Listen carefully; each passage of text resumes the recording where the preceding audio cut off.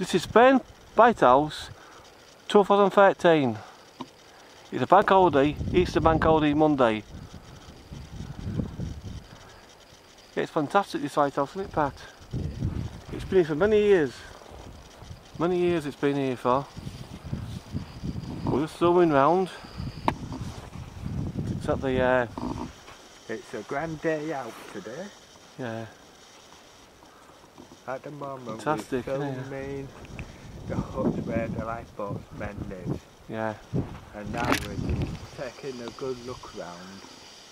And this is the Victoria Lighthouse, maybe in the 1860s. Yeah, There's no plaque on the wall because we can't see anything.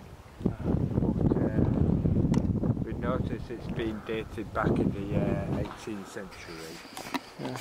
And this is where the lifemen uh, live and work. See them huts over there, this is where they live.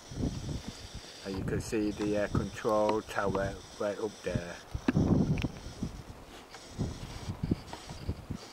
As you can see, uh, it's a beautiful day. Uh, literally we can see for miles and at the moment the tide is out to sea the and uh, covering about it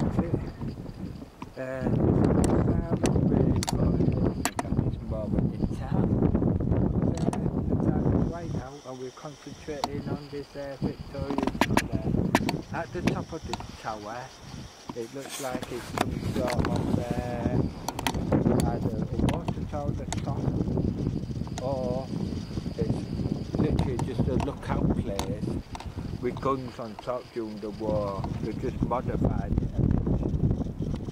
the beach is fantastic. Goes for miles the beach.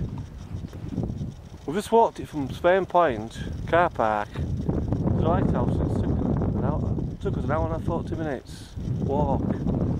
Passed a few people and they've been very friendly to talk to. It's been a great day for bank holiday Monday, Easter bank holiday. Unfortunately, we can't drive here anymore for some reason. It stops driving here. Anyway, we may come back another day. So to sign off now. Thanks for watching. Thank you. Bye.